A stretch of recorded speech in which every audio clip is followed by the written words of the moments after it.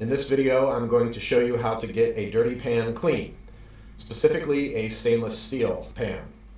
I have seared some ribs in this pan, high heat, and um, the pan's still warm, so I'm going to take a paper towel and my tongs and wipe out just the excess grease and as much of the little brown bit stuff as I can. I never wash my stainless steel in the dishwasher because dishwasher detergent is very harsh and can actually leave a permanent film on your stainless steel. I know some people do it all the time. I, just don't. So now I'm going to turn the heat up on the pan to get it a little warmer than what it already is. And then I'm going to pour in some hot water. Never put hot stainless steel into cold water or use cold water to deglaze a hot stainless steel pan or you will warp the pan. Now I take a wooden spoon. You could use a spatula if you wanted to and just scrape up some of the brown bits.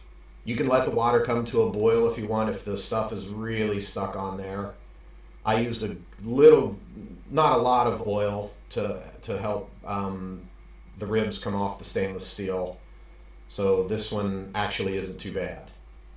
So now just pour out the uh, water and then I'm going to take my paper towel and just wipe out whatever other greasy liquid that's still in the pan.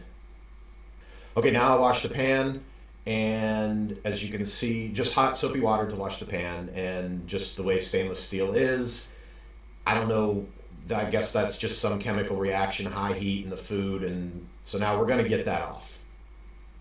So we're going to go over to the counter and the sink and use Barkeeper's Friend.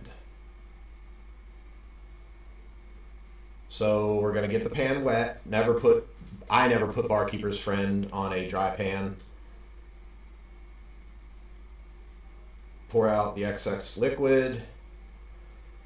And then we're to pour in some barkeeper's friend. I usually just add it straight to the pan. You can put it on a rag if you want a wet rag and use that. But when it, they're dirty like that, I'll just let it sit just for a few seconds to start working on those stains.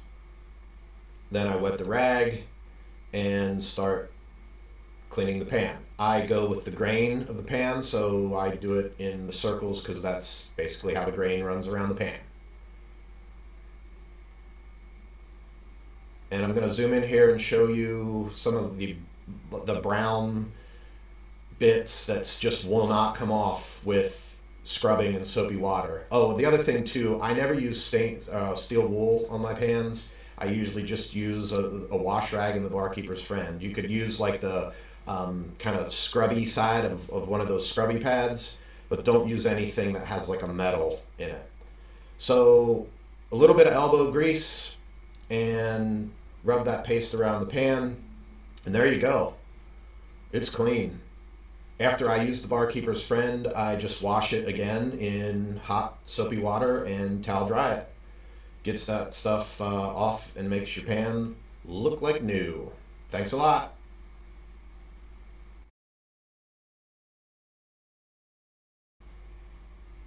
In this video, I'm going to show you how to get a dirty pan clean specifically a stainless steel pan. I have seared some ribs in this pan, high heat, and um, the pan's still warm, so I'm going to take a paper towel and my tongs